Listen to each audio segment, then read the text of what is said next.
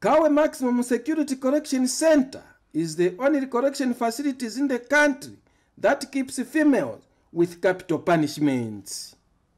The Zambia National Service Eagle Women's Club from Land Development Branch donated an assortment of items worth 5,000 kwacha. Thought of bringing various items to them. And among the items, we have groceries and some chitenge materials together with uh, second-hand clothes. Yes. And um, the cost implication for all this, we spent about 5,000 kwacha. We thought of uh, considering our fellow ladies, because as a lady, I know how it is to be a lady. And I thought of like it's very important so that at least we share the love with them.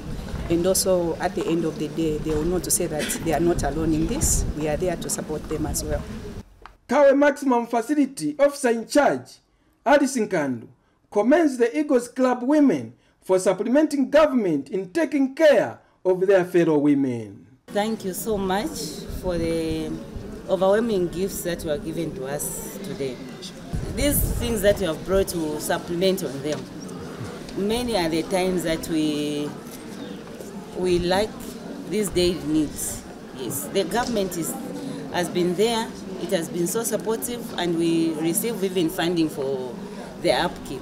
But it's not enough. Miriam Mulenga is an inmate who gives a vote of thanks. tuletira twatotera lesami pale twachiva vantu avakukulisha twatwachikwata na kasopo twachira inyacho kuwako bwana kasopo but lesami sosha mwaisa mkutupempula For the news, I'm Simeon Mbewe at Kawe Female Maximum Facility in Kabwe Central Province.